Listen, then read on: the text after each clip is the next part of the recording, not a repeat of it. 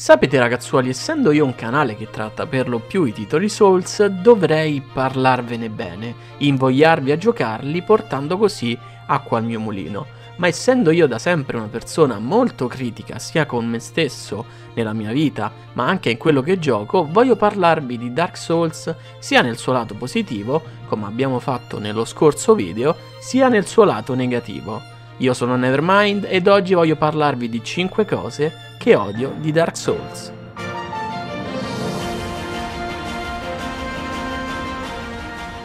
Ovviamente tutto quello che seguirà sarà personale, il vostro parere potrebbe essere tranquillamente diverso dal mio ed è anche quello il bello perché ne possiamo discutere qui sotto nei commenti o nel server Discord che ho creato di cui trovate il link per partecipare in descrizione. Scrivendo questo video mi sono reso conto che odio come parola è molto molto pesante e proprio per questo ho trovato non poca difficoltà nello stilare questi 5 punti, questi 5 motivi per cui odiare effettivamente Dark Souls. Ma alla fine, pensandoci bene, ricordando anche le mie varie esperienze in game, sono riuscito ad estrapolare 5 motivazioni per cui questo gioco delle volte è dannatamente irritante. 5 punti che lo rendono davvero fastidioso, ma quel tipo di fastidio come quando al cinema di fronte ad un bel film che sta per iniziare, che stavate aspettando da anni e anni, siete pronti a vederlo comodi sulla vostra poltrona, belli spaparanzati con i popcorn di lato, con tutto l'hype accumulato nel tempo e tac, vi si piazza uno spilungone davanti. Il film sarà pure bello ed appassionante, ma la sola presenza dello spilungone vi innervosirà per tutta la sua durata rovinando in parte la vostra esperienza. Ecco, questo è l'effetto che personalmente mi fanno questi 5 punti in Dark Souls. Spero di aver reso l'idea. La prima cosa che odio in questo gioco è la sua legnosità, davvero ce ne sarebbe tanto di cui parlare. Mi basterebbe discutere della telecamera, non proprio adatta a tutti i combattimenti o ad alcuni spazi ristretti del gioco. Mi basterebbe solo questo per farvi capire cosa intendo per legnosità, ma voglio andare un po' più nel dettaglio così da rendere più chiaro l'argomento. Sicuramente Dark Souls non è un videogioco moderno sotto molti lati, anzi alcune sue caratteristiche di gameplay lo rendono a volte anche fin troppo old school facendolo risultare molto simile a quei vecchi titoli che alcuni di noi un po' più anzianotti, tra virgolette, si ricordano ed hanno giocato anni e anni fa. E questa cosa finché non intacca la fluidità del gameplay può anche starci perché è una scelta di stile creare per esempio un gioco davvero punitivo ed impegnativo rispetto ad un altro, ma quando questa legnosità, classica caratteristica di molti giochi ormai datati, entra a far parte dei movimenti del gameplay del personaggio di un titolo del 2011 come quello di Dark Souls, l'esperienza in game un pochino ne risente. Per esempio quasi tutti gli oggetti da lancio sono davvero troppo lenti da utilizzare e delle volte sembrano pesantissimi e vanno calibrati bene per essere efficaci, ma non sempre c'è possibilità per fare questo. I coltelli da lancio, che dovrebbero essere la dimostrazione della fluidità dell'essere scaltri quasi dei ninja, se utilizzati sono addirittura un malus per il giocatore, che rimane bloccato nell'animazione e diventa facile preda per attacchi più veloci e malandrini.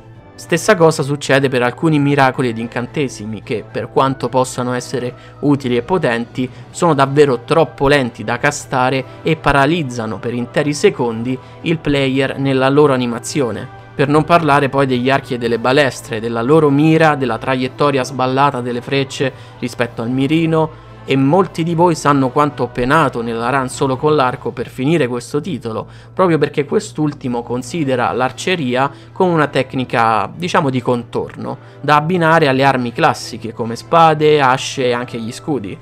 Quindi l'arco dovrebbe essere utilizzato, secondo il gioco, solo in determinate situazioni occasionali. Peccato che sia davvero orribile da utilizzare in qualsiasi occasione, anche quella meno occasionale. Una legnosità che alla fine spinge i giocatori alla scelta più facile, predileggendo una determinata build rispetto ad un'altra, o ad uno stile di gioco rispetto ad uno più lento e macchinoso, ma magari più vario. E questo secondo me è davvero un peccato perché per quanta libertà e varietà il gioco ci offra, le opzioni davvero efficaci si rivelano essere sempre le più conosciute e le più mainstream. Ed il peggio ve l'ho lasciato per la fine.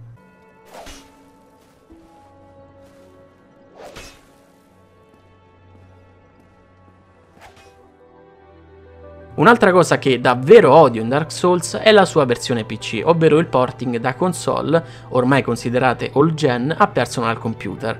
Bandai Namco, spinta dal grande seguito che questo titolo aveva generato per Xbox 360 e PS3, decise finalmente di rilasciare nell'agosto del 2012 la versione Microsoft e diciamo che fu anche imboiata parecchio dopo aver visto che c'erano circa 70.000 persone che avevano firmato una petizione web per questa release. Finalmente anche chi non possedeva console poteva assaporare l'oscura anima di Dark Souls. Peccato che la versione PC fu un disastro totale. Il frame rate era bloccato a 30, la risoluzione bassissima e le prestazioni ridicole anche su PC di ultima fascia. Insomma, era effettivamente la versione console copia incollata su PC, con i suoi vari cali di frame rate, per esempio quelli più famosi, come nella città infame. Gli sviluppatori che avevano lavorato a questo progetto non avevano capito bene il significato di porting, poverini, o semplicemente se ne erano fregati altamente, quindi il gioco non era ottimizzato per nulla e non sfruttava l'hardware del PC su cui era installato facendo un paragone come se qualcuno prendesse il motore di un pandino e lo montasse alla bene e meglio, come capita, su una Ferrari, senza adattarlo alle prestazioni dell'auto. Il risultato sarebbe uno schifo incredibile ed è questa la sensazione che genera Dark Souls per PC.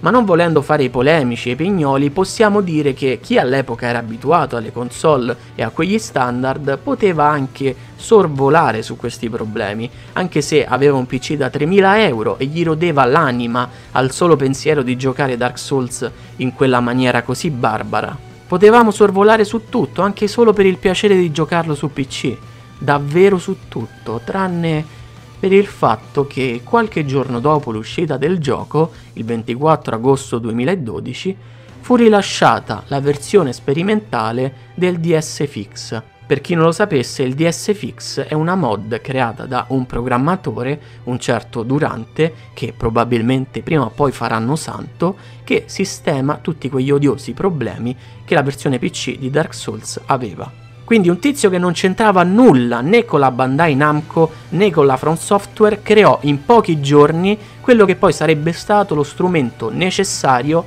per giocare Dark Souls su PC in modo decente. In pochi giorni un tizio da solo contro il lavoro fatto dalla Bandai Namco, compagnia di sviluppo videogame nata nel 1955 che solo nel 2015 ha fatturato una cosa come 565 miliardi di yen, circa 4 miliardi e mezzo di euro, un tizio da solo ha fatto questo in pochi giorni. Ma che c***o succede? Ok, ok. Devo, devo calmarmi, altrimenti non riesco a finire il video.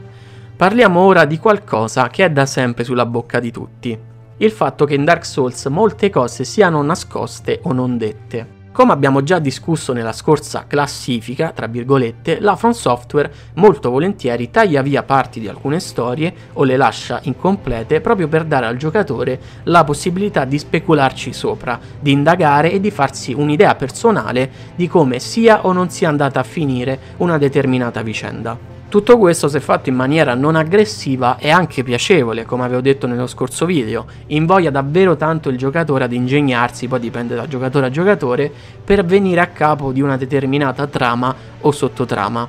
Il vero problema sorge quando vengono nascoste informazioni che ai giocatori delle volte sono davvero necessarie e che altrimenti manderebbero in fumo intere run. Sto parlando per esempio di informazioni utili come quelle dei Covenant, degli oggetti sbloccabili all'interno di questi patti che senza l'utilizzo di una ricerca web sono del tutto nascoste ai players. Quindi se uno non vuole fare una ricerca si andrebbe a tentativi portando gli oggetti richiesti finché non si sblocca a caso qualcosa.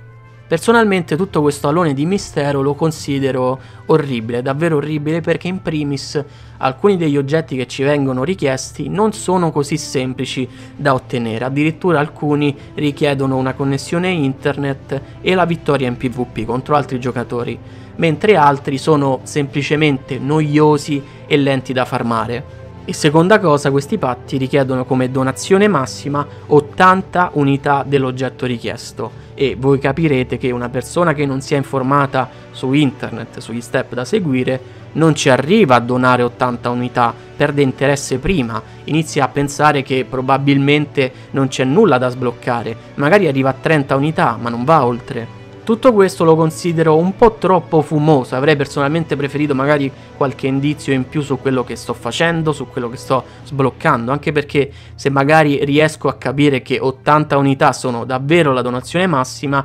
rimango comunque male, ci rimango davvero tanto male a sapere che la maggior parte di questi patti con 80 unità non danno assolutamente nulla. C'è poca chiarezza in generale anche riguardo le questline degli NPC che andremo ad incontrare all'interno del gioco e anche se ci si mette realmente tanto impegno per seguirle, delle volte sono talmente criptiche che basta davvero poco per mandarle in fumo.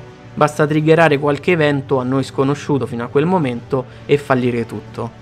Accetto ben volentieri il fatto che il gioco vada scoperto man mano, che la Front Software lasci a noi alcune decisioni, che ci lasci speculare su alcune vicende irrisolte volontariamente, ma questo tipo di manovra all'interno del titolo devo dire che non l'ho apprezzata né alla prima run né in quelle più recenti. Sicuramente almeno in questo avrei preferito un po' più di chiarezza. Un'altra cosa che davvero non sopporto di Dark Souls è il suo multiplayer. Questo punto si collega in maniera spontanea a quello precedente, perché anche in questo caso, per motivi a noi sconosciuti, la From Software ha deciso di mantenere segrete in game le informazioni per giocare online, non si sa perché. Quindi di nuovo dovremmo armarci di ricerca web per venirne a capo ma non volevo soffermarmi tanto su questa nota dolente su cui ancora oggi ricevo domande su come cooperare, qual è il distacco di livelli che devo mantenere, le percentuali, eccetera, eccetera. Volevo soffermarmi sulla pura esperienza multigiocatore, quindi quando cooperiamo e quando facciamo PvP, tralasciando le assurde regole per trovarsi in gioco.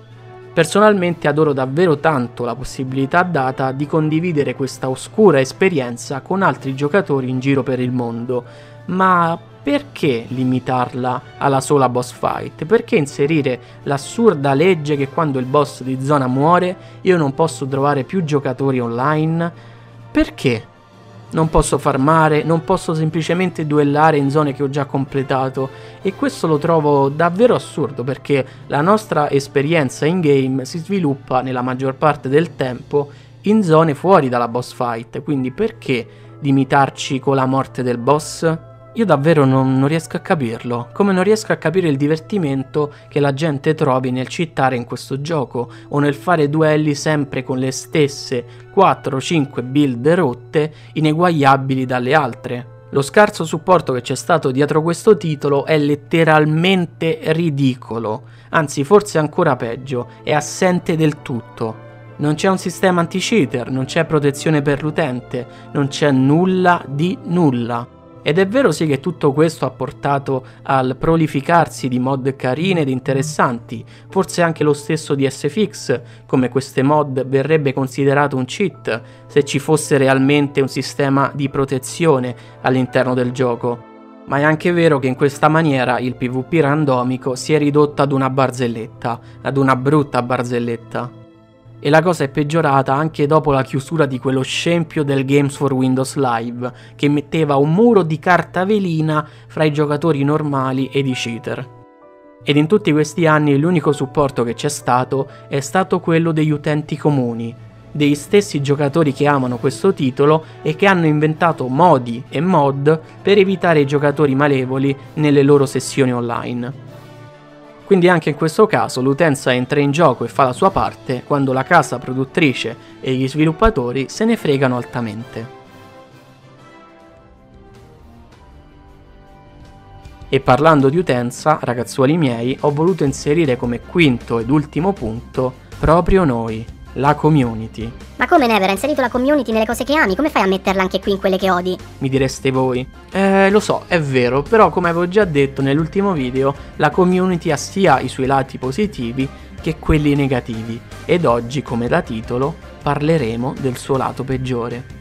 Ho giocato davvero tanti videogames in vita mia, sinceramente mai troppi per i miei gusti, ed ho notato che più un gioco è difficile, impegnativo, più il titolo punta al perfezionismo, all'essere perfetti, più la community è molesta. Posso parlarvi di Monster Hunter, di The Binding of Isaac, di Warframe, di Path of Exile e molte altre serie che hanno al loro interno il perfezionismo, il diventare l'eccellenza superando sfide davvero tanto ostiche. E la serie Souls è solo un altro esempio di questa categoria di videogiochi in cui la community si diverte ad essere davvero tanto stronza.